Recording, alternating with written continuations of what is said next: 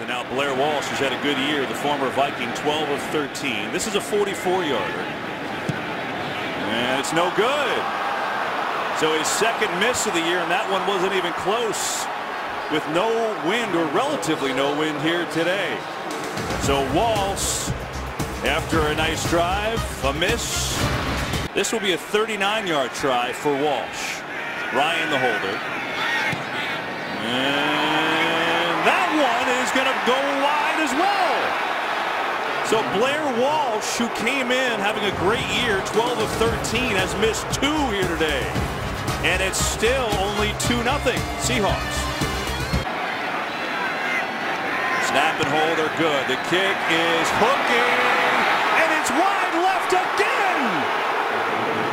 Three times in a row, all wide left. Unbelievable.